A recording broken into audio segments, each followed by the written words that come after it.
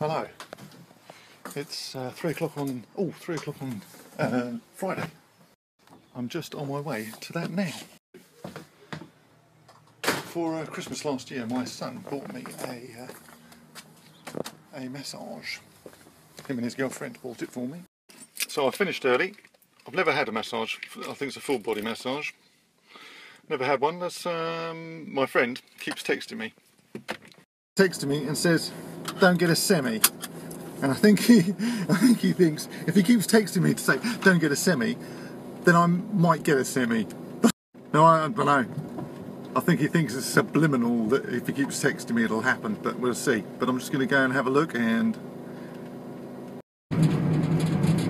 Appointments at 3.30, it's now about quarter past and I'm sat in traffic and might be late. We're on the move. It's a nice looking house.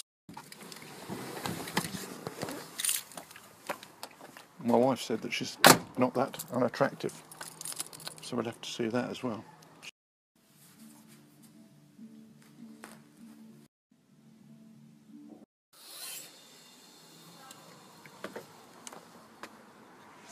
Well, that was bloody marvellous. And yes, she was a good looker. and uh, no, I didn't get a semi. That was uh, that was very relaxing. I shall do that again. Fantastic.